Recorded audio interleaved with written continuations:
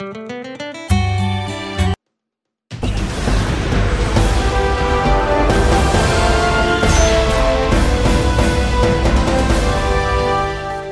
और आप देख हैं पल पल। पूर्व मंत्री एवं कांग्रेस नेता किरण चौधरी ने गठबंधन सरकार पर बड़ा हमला बोला।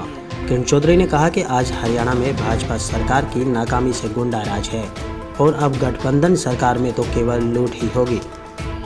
उन्होंने कहा कि आज गुंडे लोग रोज़गार की लगत में गलत फ़ायदा उठा रहे हैं। क्योंकि वे जानते हैं कि समाज में बेरोजगारी काफ़ी बढ़ गई है। उन्होंने गठबंधन सरकार को दो अलग अलग विचारधाराओं का गठबंधन बताया और कहा कि ये गठबंधन सत्ता सुख के लिए हुआ है। नहीं तो जनता ने भाजपा के खिलाफ मत दिया था। आपको बता दें कि किरण चौधरी रविवार को सुबह अपने आवास पर मीडिया से रूबरू हुई। इस दौरान उन्होंने बिगड़ती कानून व्यवस्था, किसानों, पराली जलाने फ़सलों की खरीद न होने तथा कर्मचारियों के मुद्दों को लेकर के एक एक गठबंधन की सरकार पर हमला बोला। वहीं किरण चौधरी ने कहा कि यह गठबंधन सत्ता सुख के लिए स्वार्थ का गठबंधन है। उन्होंने चुटकी लेते हुए कहा कि यह सरकार पाँच साल चलनी चाहिए, ताकि जनता को इनकी असलियत का पता चल सके। वहीं किसानों के मुद्दों पर बोलते हुए किरण चौधरी ने कहा कि कहने को भाजपा सरकार 2022 तक किसानों की आय दोगुनी करने की बात करती है। लेकिन मंडियों में किसानों की फ़सलें समर्थन मूल्य पर नहीं बिक रही। उन्होंने आरोप लगाया कि किसान पराली जलाते हैं तो प्रदूषण होता है, जबकि पराली से नामात्र प्रदूषण होता है।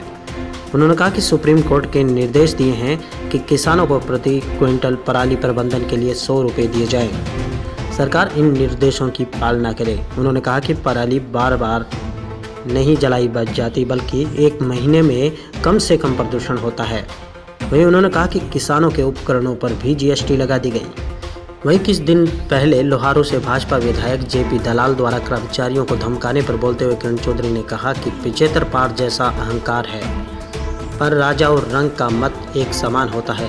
जनता जब जानती है और दूध का दूध और पानी का पानी करती है, जल्द ही इन्हें जेपी दलाल का भी समझ आ जाएगा। इनके साथ ही उन्होंने कर्मचारियों की रिटायरमेंट पिचपन साल करने की गलत बताया और अयोध्या मामले पर आए सुप्रीम कोर्ट के फैसले का स्वागत किया। पल पल भिवानी से अमन शर्मा की विशेष रिपोर्ट। किसान जो है उसका अलग बुरे हाल हो रहे हैं।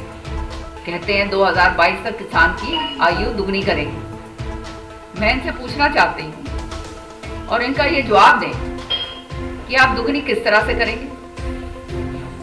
खोखले नारे हमने आपके बतेरे सुन लिए। खोखली बातें हमने आपकी बहुत सुन ली। पचहत्तर पार का नारा भी दिया था। आप जो, आज जो है, बाजरा जो है, उसकी खरीद जो है, वो बंद कर दी गई पूरी तरह। कहते हैं, एक एक दाना जो है, दोनों गठबंधन की ये जो दोनों, जिन्होंने गठबंधन करा है, जजपा ने और बीजेपी ने, कुछ दिन पहले मैं पढ़ रही थी कि मंडियों के अंदर घूम के आए और बोले कि एक एक दाने की खरीद होगी। तो आज मैं पूछना चाहती हूँ कि वो एक एक दाने की खरीद की बात आपने कही। आज बाजरे की जो खरीद है वो बिल्कुल बंद कर दी गई। जो हमारी बाड़ी पिट गई, हमारी जीरी पिट गई, उसका जो एमएसपी है, उसके दाम आप किसान को नहीं दे हमारा जो दक्षिण हरियाणा है, वो पर्याप्त मात्रा में हमारे को जो पानी मिलना चाहिए, वो पानी आपने हमारा काट के रख दिया। हमारे साथ तो सोतेला व्यवहार यूँ करा जा रहा है। और साथ ही साथ किसान के ऊपर जो है जीएसटी लगा दी है। पहली बार ये हुआ है कि किसानों के उपकरणों के ऊपर जीएसटी लगाई गई है। और फिर हर एक चीज़ की अगर जो कहा जाए कि, कि जो कुछ खराबा हो रहा है वो किसानों के कारण हो रहा है कि पराली जलाते हैं। पराली जलाने से प्रदूषण हो रहा है। ठीक है प्रदूषण है इसमें कोई शक की बात नहीं है। गैस चेम्बर एनसीआर बन गया ये भी बात सही है। लेकिन खाली पराली जलाने से नहीं ये तो खाली 16-17 परसेंट जो है, वो पराली से होता है। और उसको रोकथाम करने के लिए पिछले पाँच साल के अंदर मैंने बहुत सारी सुझाव रखे थे। इस बारी भी विधानसभा के अंदर वो सुझाव रखे कि आप सौ रुपये प्रति क्विंटल जो है किसान को दो, जिसके ऊपर मोहर सुप्रीम कोर्ट ने लगाई है। ये मैं, मेरे सुझाव बहुत पहले से बोलती आ रही हूँ मैं। विधानसभा में भी मैंने जो है यही सुझाव है ये सदन पटल पे रखा था। अच्छा मैंने किसानों को सौ रुपये प्रति क्विंटल के तौर पर मुआवजा दिया जाए ये मैंने, ये लिखा था। हमारी चर्चा तो होने नहीं दी, आपने देखा।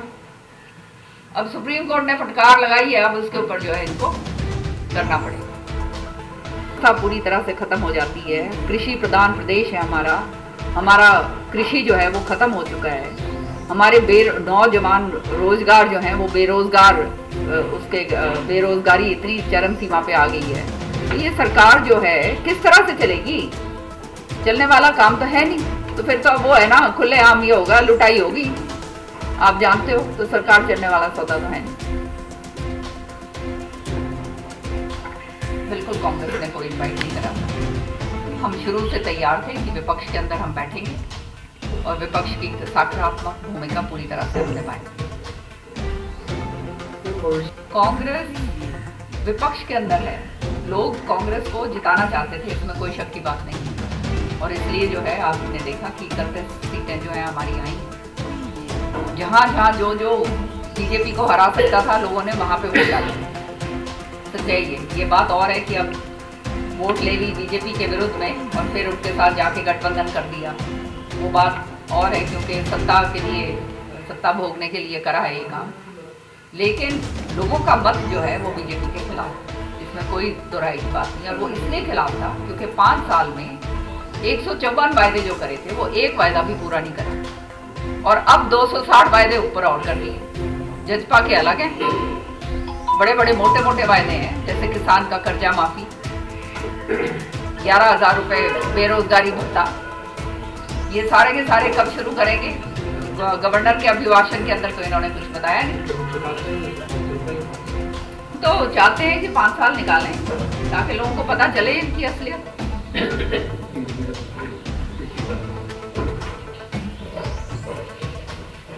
इस बारी आने वाले समय में सरकार बनाएगी और पूर्ण बहुमत के साथ कांग्रेस बनाएगी, और एक सुशासित प्रदेश हरियाणा को दोबारा जब हमारा मौका है तो पाँच से पंद्रह तक ये पूरा ए आई की तरफ़ से प्रोग्राम किया गया था।